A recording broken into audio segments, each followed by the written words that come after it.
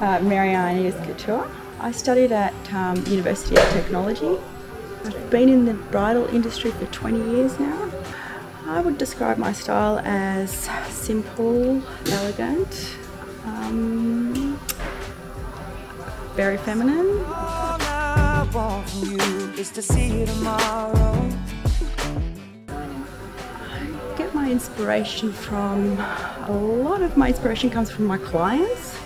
I would probably do a dress and then I'll design a dress for a client, then I'll get some inspiration from there and then I'll design another dress as a sample and then I'll go from there.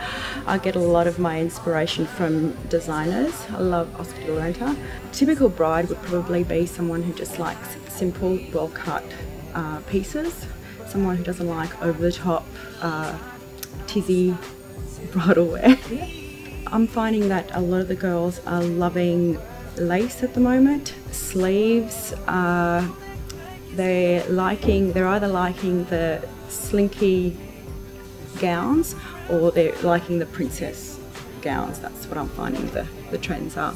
The way I make gowns is they come in, they consult with me, and if they want to go through, we we do a design consultation. We design a gown for them, and if they want to go ahead with them, we actually do a calico for them, and the process starts from there.